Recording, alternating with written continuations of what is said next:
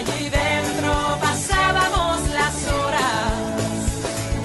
Son mis amigos por encima de todo.